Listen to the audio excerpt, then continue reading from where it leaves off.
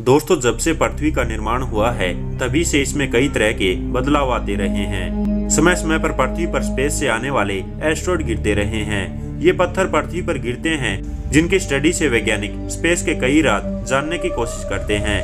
इन्हीं स्टडीज़ के आधार पर पता लगाया गया था कि विशालकाय उल्कापिंड की वजह से पृथ्वी से डायनासोर का खात्मा हुआ था। ऐसे में अब अगर ऐसा कोई उल्का पिंड पृथ्वी से टकराया तो दुनिया से इंसान का खात्मा हो सकता है। इसी वजह से दिन रात कई वैज्ञानिक स्पेस में उल्का पिंड के मूवमेंट का ध्यान रखते हैं।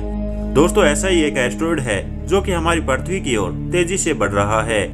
नासा ने इस एस्ट्रॉइड का नाम 138971 या 2001 CB21 रखा है। वैज्ञानिकों ने इसे पोटेंशियली एजेडेस एस्ट्रॉइड की श्रेणी में रखा है, यानी कि खतरा बताया है। कैलकुलेशन के मुताबिक, अगर ये एस्ट्रॉइड हमारी पृथ्वी से टकराया तो भारी तबाही हो सकती है।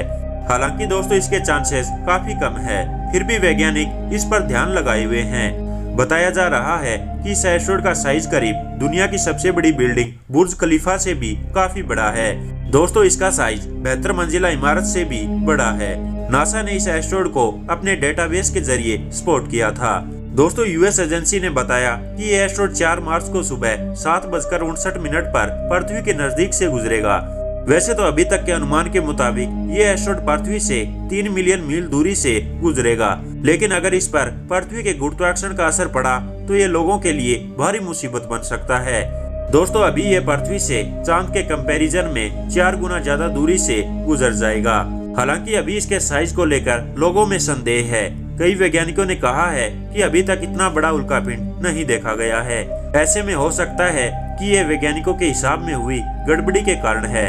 इसे सबसे पहले फरवरी 2001 में वैज्ञानिकों ने देखा था। उसके बाद से इस पर नज़र रखी जा रही है। अब 4 मार्च को ये पृथ्वी के करीब से गुजरेगा। तो दोस्तों, आज की वीडियो में बस इतना ही। हमारी जानकारी आपको कैसी लगी, कमेंट सेक्शन में ज़रूर बताएँ। और ऐसी वीडियोस के लिए हमारे YouTube channel daily dose PK को सब्सक्राइब करें।